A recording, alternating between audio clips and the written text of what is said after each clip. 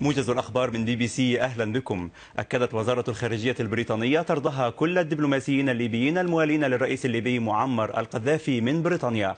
وقد استدعي المسؤولون الدبلوماسيون في لندن إلى وزارة الخارجية اليوم وأبلغوا بهذا الأمر. وقال متحدث باسم الخارجية البريطانية إن هذه الخطوة تتماشى مع قطع بريطانيا جميع علاقاتها مع القذافي بينما يوسع المجلس الانتقالي الليبي من إطار علاقاته علاقاته داخل ليبيا ويوالي مهامه كحكومة للبلاد. ومن المتوقع أن يعقد وزير الخارجية البريطاني ويليام هيج مؤتمرا صحفيا بعد قليل سنكون معه فور انعقاده قال المرصد السوري لحقوق الإنسان إن دبابات وناقلات جند مدججة بالسلاح داهمت عدة أحياء في الزبداني ومعظمية الشام في ريف دمشق ما أدى إلى سقوط جرحى. في تلك الأثناء يستمر الانتشار الأمني في عدة أحياء بالعاصمة منها ركن الدين وبرزة والقدم حيث سمعت أصوات نار. وذكرت مواقع تابعة للمعارضة إن مزيدا من الدبابات أرسلت إلى بلدة تلبيسة قرب حمص.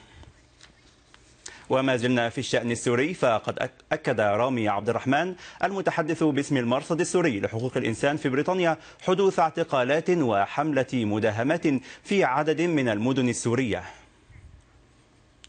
أمنية واعتقال داخل داخل مدينة الزبداني، هناك حواجز أمنية واقتحام للجيش لكناكر، هناك الآن حواجز أمنية في فجر اليوم في حي برزة في دمشق، هناك حواجز مداهمات لسراقب هناك دبابات منتشرة في كل المدن السورية في حماس. جرحى كان في بلدة كناكر وبعض الجرحى جراحهم خطرة لم نتأكد من استشهادهم. هناك في مدينة حرستا أيضا بريف دمشق سقط شاب على أحد الحواجز العسكرية ونقل جسمانه إلى المشفى العسكري بحرستا. قال وزير الخارجية اليمني أبو بكر القربي إنه أجرى محادثات بناءة مع وزير الخارجية البريطاني ويليام هيج اليوم وتناول فيها التطورات في اليمن والجهود المبذولة من قبل نائب الرئيس والحكومة اليمنية وسفراء الولايات المتحدة والاتحاد الأوروبي ومبعوث الأمين العام للأمم المتحدة وذلك في محاولة للتوصل إلى توافق يمني يمني حول الإعداد لانتخابات مبكرة لنقل السلطة مشيرا إلى بقاء المبادرة الخليجية أساسا لذلك الحوار.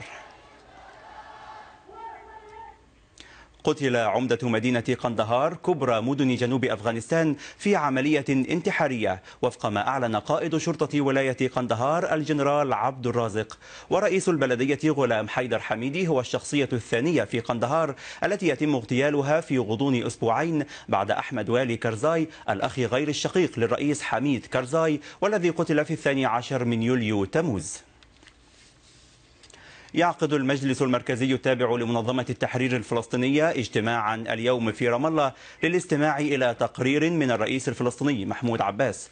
ويرجح أن يصادق المجلس على توجه القيادة الفلسطينية إلى الأمم المتحدة لطلب الاعتراف بالدولة الفلسطينية والحصول على العضوية الكاملة في الأمم المتحدة. وكان ياسر عبد الرب أمين سر اللجنة التنفيذية لمنظمة التحرير الفلسطينية قد أعلن أن المنظمة تعتزم القيام بهذه الخطوة. الخطوة اللجنة التنفيذية مواصلة العمل من أجل الذهاب إلى الأمم المتحدة بما في ذلك مجلس الأمن الدولي والجمعية العامة للأمم المتحدة من أجل الحصول على الاعتراف بدولة فلسطين بحدود عام 67 وبحق هذه الدولة في أن تحظى بالعضوية الكاملة في الأمم المتحدة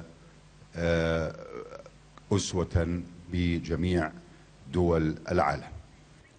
بدأ برنامج الغذاء العالمي اليوم عملية جوية لنقل المساعدات الإنسانية إلى منطقة القرن الإفريقي ويتم نقل أغذية عالية الطاقة إلى العاصمة مقديشو حسب الخطة الموضوعة. وقالت الأمم المتحدة إن مئة ألف شخص نزحوا إلى مقديشو من المناطق المنكوبة في جنوب الصومال خلال شهرين. مزيد من الأخبار على رأس الساعة. إلى اللقاء.